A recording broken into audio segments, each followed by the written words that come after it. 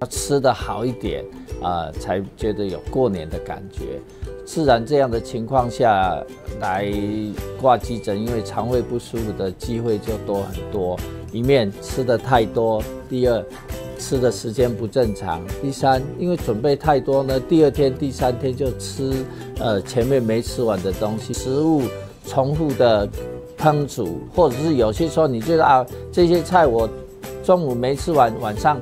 又马上要吃啊！不要放冰箱，就放桌上啊。冷盘沙拉的，你就不会再加热。这持续吃最常见就是会有金黄色葡萄球菌啊，或是有些食物本来就有污染，有大肠杆菌这种细菌性的肠胃炎。初二、初三到正式门诊开始之前，大概都会突破两百位，大概会增加一成至两成。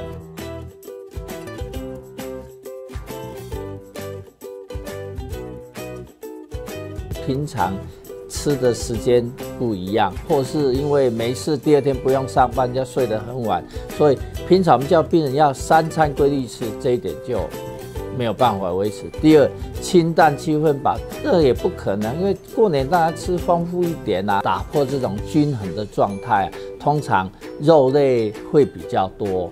那有些说过年总要炸一点年糕啊，或是萝卜糕这种油炸的东西也比较多，大概吃的量就是平常的一倍以上，所以当然胃肠的不舒服就很常见啊。